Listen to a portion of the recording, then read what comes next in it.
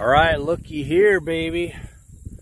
Not quite a personal best, uh, but it's a beautiful evening, and I finally hooked into a nice one. Probably a three and a half pounder, but beautiful. Um, Sharon, honey, I'm sorry to report that I'm I'm ahead of you now in 2022. So we'll have to get you back on the pond so you can overtake my current. All right, I'm gonna try and get by that down tree right there.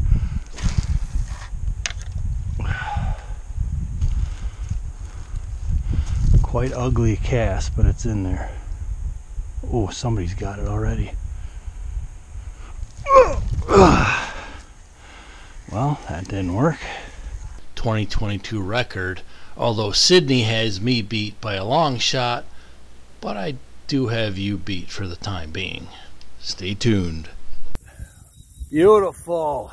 Yes.